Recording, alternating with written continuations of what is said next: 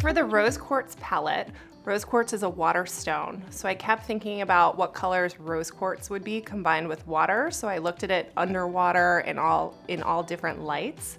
And then for the crystal grid palette, I was really thinking about different colors in the rainforest because 10% of the proceeds go to the Rainforest Foundation.